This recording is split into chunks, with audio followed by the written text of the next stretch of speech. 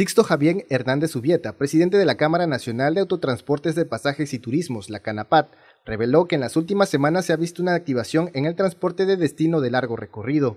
Señaló que en el arranque de la primera semana se tuvo un incremento del 12%, lo cual es histórico, comparado con el pasado 2020, con los principales destinos al centro de la República. En el caso del transporte de destino de largo recorrido o lo que va hacia otros estados, en el arranque de la temporada de la primera semana, la verdad es que fue bueno eh, aproximadamente tuvimos crecimientos del 12%, eh, que son históricos contra el año anterior, porque pues recordemos que el año anterior estábamos empezando con el tema de la pandemia, y, en esta condición pues vimos un buen flujo de, gente que se movilizó principalmente hacia el centro de la ciudad. Fueron como que las zonas que más estuvieron moviéndose lo que viene siendo Puebla, Ciudad de México y más hacia el norte como el caso de Tampico, Reynosa y Veracruz. Reveló que la movilización hacia la península fue menor, ya que en su mayoría se trataban de obreros que buscaban trabajo y que ahora con la refinería lo han encontrado en el territorio tabasqueño. Eh, hacia la península fue mucho menos, no no en los en los en las costumbres que teníamos naturalmente.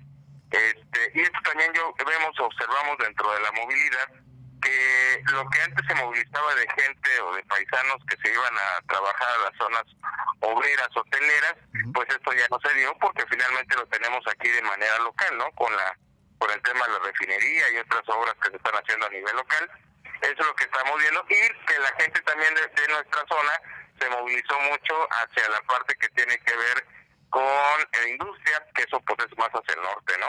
Entonces, eso es lo que observamos en el primer arranque informó que el fin de semana pasado se incrementó la movilización municipal en un 16%, mientras que hacia afuera del estado no fue tan grande esta movilización.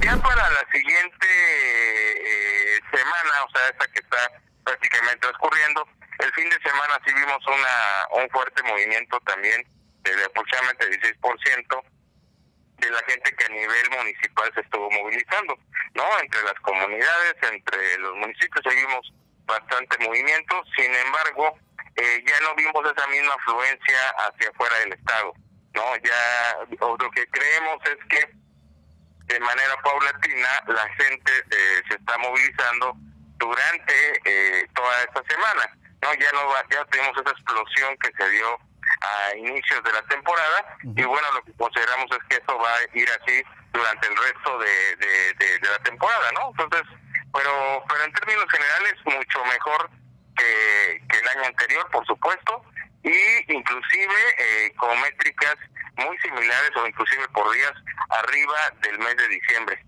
Con imágenes de Juan Carlos García, Alberto Pérez Obando, Noti 13.